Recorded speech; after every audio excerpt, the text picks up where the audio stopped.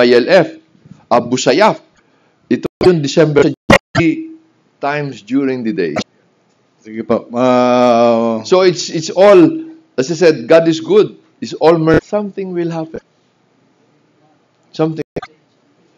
Very, very important, I think. Yung resulta in God's time and God's will.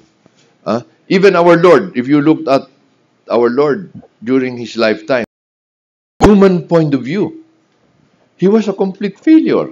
Hindi ba? complete failure. So even in our time right now, we may say that we are failing, but actually, we all know we are not.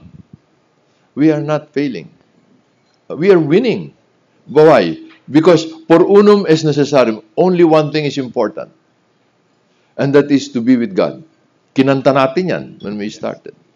Only one thing. So we are winning all the time. Because we are children of God. So we are winners, actually. Although people might think that we are not. But we are because we are after the thing that is thing to be with God.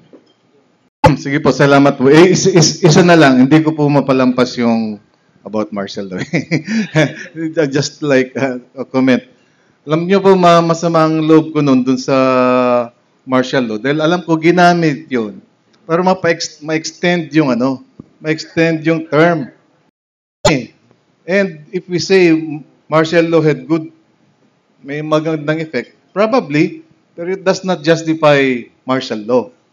Never, never again. Uh, in-extend yung term eh. And then yung premise na i-declare yung martial law is fake.